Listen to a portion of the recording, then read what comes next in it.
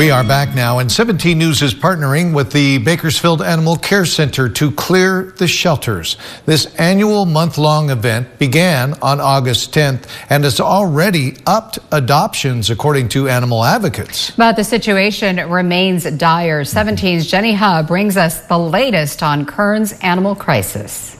During Clear the Shelters, over 300 dogs like sweet Jessie right here will be available for adoption.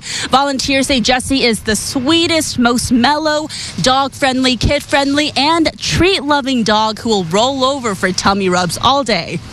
Adoptions are, are up, especially for dogs. Um, I think a lot of that has to do with the Clear the Shelters event. While animal advocates say we're headed towards the right direction, the situation is still dire. We still need all the help we can get.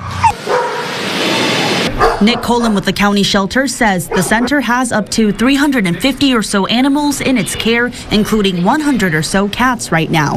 Yearly, we, we save about 10,000 animals and we put down about 2,500. And Matthew Buck with the city shelter says they've had about 1,000 fewer dogs than last year. They're receiving up to 200 dogs weekly and euthanizing about 50. So we're still having to euthanize uh, a lot more dogs than we would like to.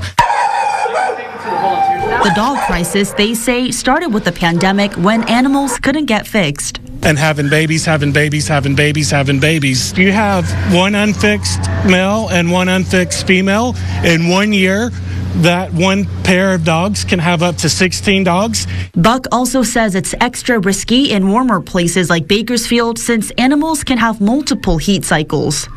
Spay neuter's the only way we're going to make it out of this crisis. Advocates encourage future pet parents to focus on personality, not so much the breed. Take this Alaskan Husky, which 17 News named Anchorage. Volunteers say Anchorage is the perfect family dog, but can be tirelessly energetic. Shepherds are number one on our list right now.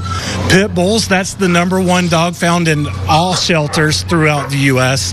And then huskies. I don't know why Bakersfield has a husky problem. You can make dogs like Jessie your forever friend on Saturday, September 7th from 8 a.m. to 2 p.m. for Clear the Shelters. In Southeast Bakersfield, Jenny Hutt, 17 News.